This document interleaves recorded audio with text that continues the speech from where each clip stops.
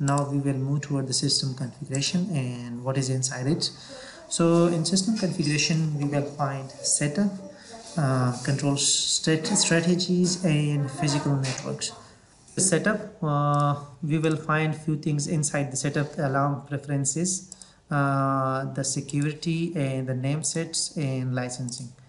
So alarm preferences are being used uh, for setting the alarm types and alarm priorities.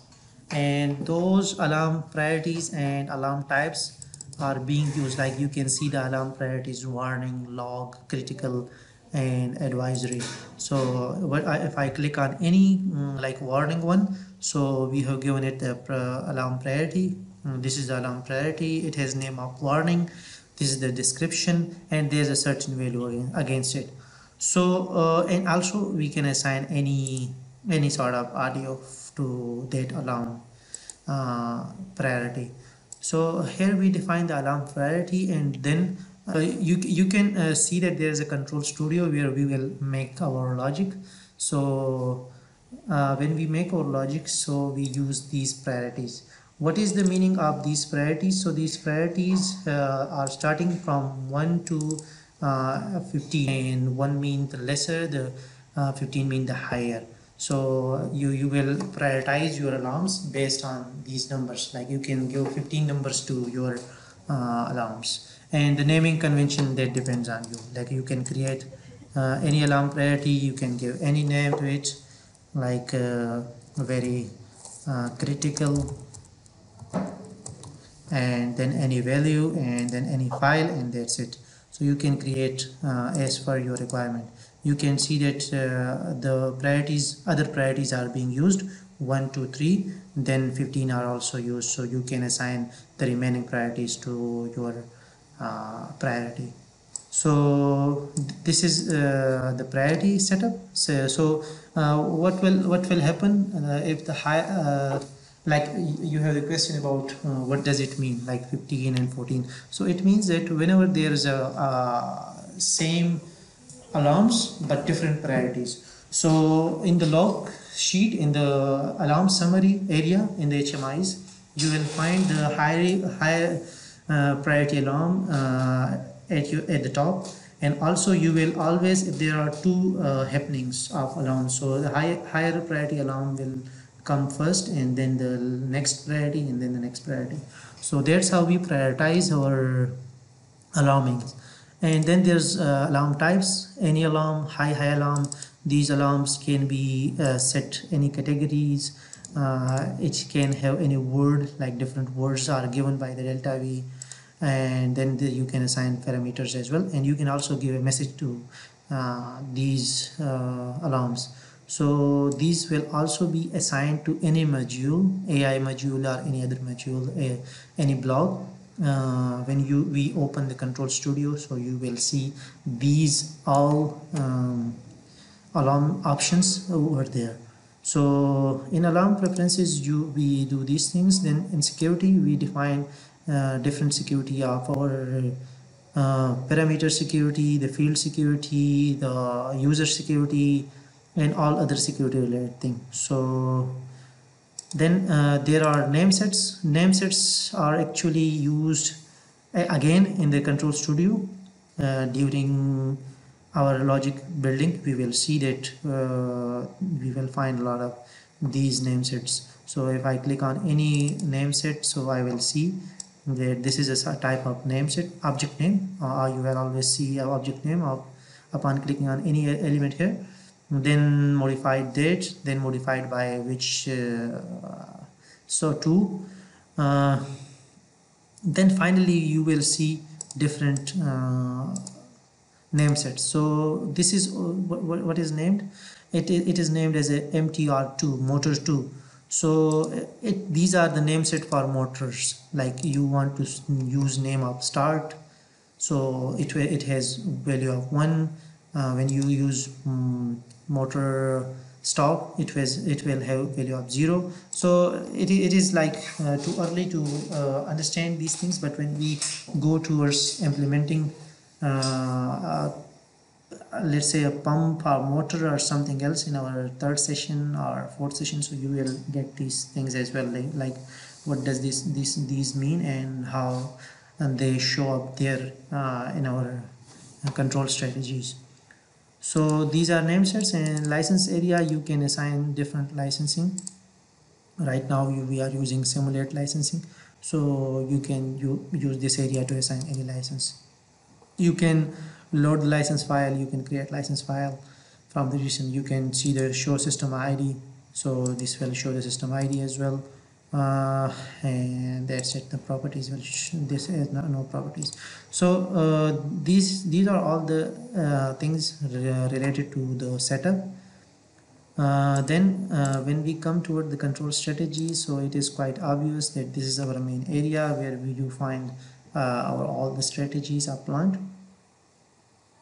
Right now you are seeing it very shallow area like very clear area but when you work in a real-time uh, control or you um, real-time field uh, you will find a lot of things here like a lot of fields a lot of modules. So uh, we will also implement few of the modules so you can understand how these come over here.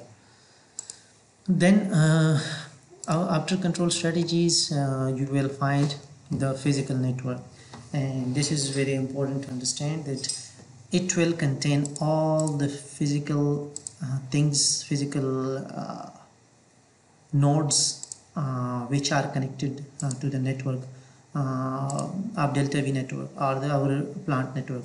So whenever you connect your controllers uh, or any other nodes it will show up here decommissioned because they are not yet commissioned. And what you will have if we had uh, our physical uh, controllers right now we would have demonstrated there as well. So what, what we can do we can connect our controller here to the uh, to the station. So the decommissioned node would appear here. We then right click on that node specific node which shows like it is not commissioned. And you can click on the commission and it will be commissioned and it will come up and show up here uh, under control network as well. So uh, this is the decommission nodes. All the nodes will show up here then the control network. In the control network you will see everything connected to our control network. Like, like I already mentioned the control network. It is a network which on which there are different nodes connected to it. So right now we have a simulated controller uh, which has control station which has all these things. One is the continuous historian the assign module the hardware alarms like the four three alarms then the uh, these are the alarms which comes against the hardware. If there's an issue in the hardware it will show up these alarms. Uh, so they pick up the alarms from here. So then there's alarm and events. So against every area there are alarm and events. Uh, for operators there is a certain placeholder which uh, is used for operator purposes uh, then the, there's a remote network uh, and remote client. So all the remote uh, clients are shown here and if there is a remote connectivity uh, nodes they, they are shown here the remote network. So uh, the majorly you we will work with the assign module. If I expand the assign module here you will find that all those modules which you have built here in the control strategies area control strategies area and this module. So it will exactly shown uh, the, the module will be shown up uh, here. So every module we can assign to different controllers. So we will come to that as well that how it works. So overall um, this is uh, the system configuration um, which I mentioned to you right now. Then uh, if you come towards the control the Ex explorer menus uh, we have these menus available which is which are quite straightforward. We don't need to explain those menus but let me uh, give you a go through these uh, menus. You, you will uh, find the import export here the format specification. You can create and uh, edit licensing. You can do it from here as well. You can find a license report from here. So it will show update DST limit system size unlimited DST is one then the DeltaV simulate network these are every all the information you will find from here. Uh, then uh, in edit the same common things.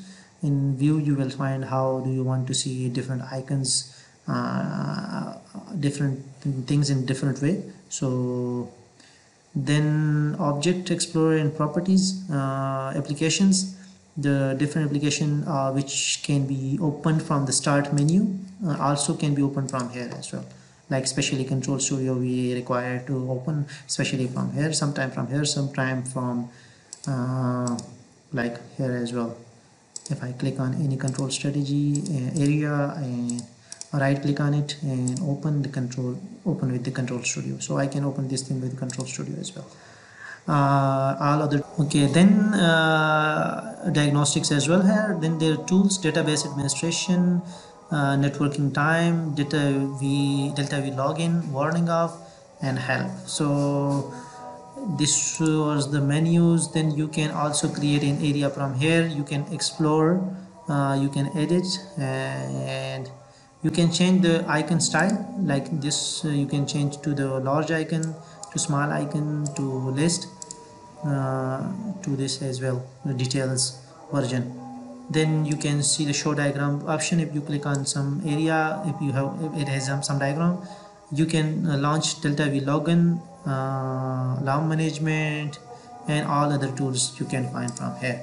So uh, it was the DeltaV explorer. Uh,